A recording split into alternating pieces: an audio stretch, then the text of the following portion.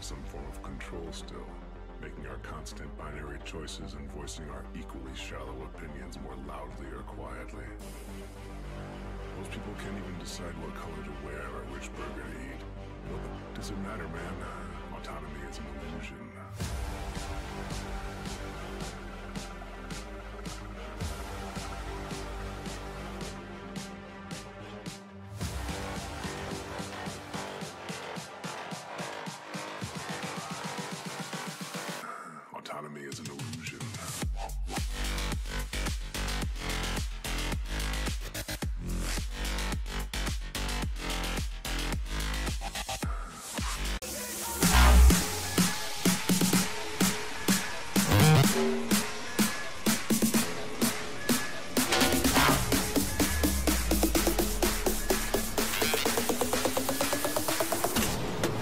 tranquilo.